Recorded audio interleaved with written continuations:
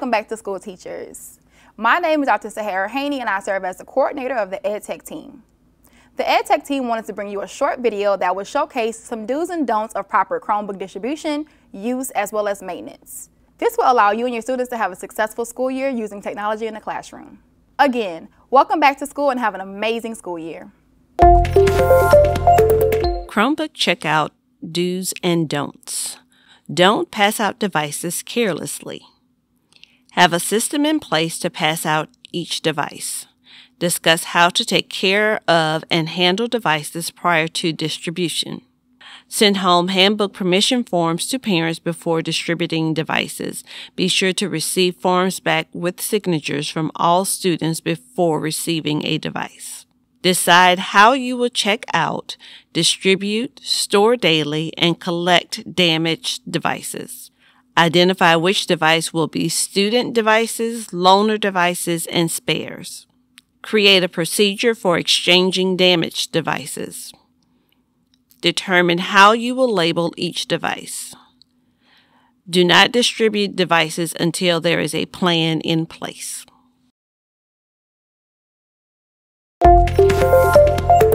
The handling of devices do's and don'ts one hand swinging by the screen or holding devices overhead is a don't.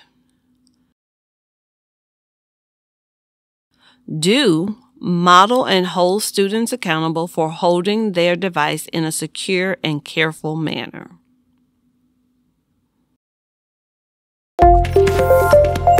Chromebook Care do's and don'ts. Don't allow students to have food, drinks, stickers, write on devices, binders, or desk clutter with their Chromebooks. Also, do not allow students to place any random stickers on their device outside of the barcodes or passwords. Students should not need any writing utensils while working on devices. This will prevent the temptation of writing or doodling on their device.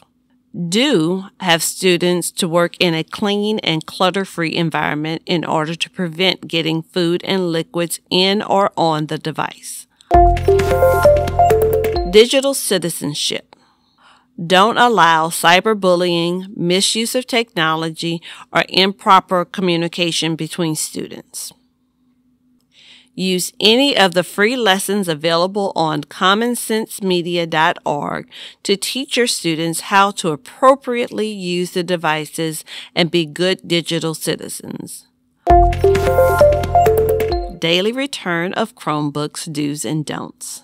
Don't randomly stack devices on top of Chromebook carts or stack them on top of a desk or in a corner. Do model properly placing the devices back into the cart slots at the end of each day. There are multiple ways to accomplish this. However, just ensure that there is an organized way to collect devices so that students are using the same device each day. Chromebook updating do's and don'ts. Don't allow students to just close devices at the end of usage. Do make sure that students sign out at the end of each day. Students should perform a hard shutdown at the end of each day or week of instruction.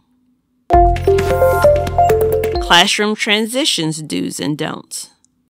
Do not hold the Chromebook by the screen with one hand or any additional inappropriate ways while moving from classroom to classroom or transitioning from subject to subject. Do place the Chromebooks in a backpack or hold with two hands carefully as you walk around the campus from your classroom or as you are leaving at the end of the day.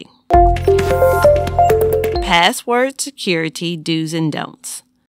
Do not place passwords on devices or leave them randomly laying around the classroom. Do keep a binder, an index card ring, or anything to keep them in a secure and safe location. Make sure that they are not easily accessible to anyone that is entering into your classroom. Teacher responsibility do's and don'ts. Do not ignore damages that have taken place on devices throughout the instructional day. Do check frequently for damages and submit a help desk ticket for any identified damages to a device. Remember, you are the first line of contact with devices. Please help your students make sure that they are taking care of their devices daily and returning them to the cart at the end of each day. We want to make sure that all students are consistently using the same device and taking good care of them. Chromebook cleaning do's and don'ts. Do not spray or oversaturate your device. Make sure you do not use Clorox wipes, Lysol wipes, or any wipes that has a high concentration of alcohol. Do Use slightly damp towels to gently wipe down your screens and keyboards in order to keep any germs or dirt from getting into your device. Chromebook physical damages do's and don'ts. Do not remove any tags, serial numbers, barcodes, or labels that are used to inventory each device. Do not allow students to remove cases or pick at the keys to remove them from their device. Do model how to properly take care of their device and what to do to report any damages to their device. Thank you so much for watching today's video. And again, have a great school year.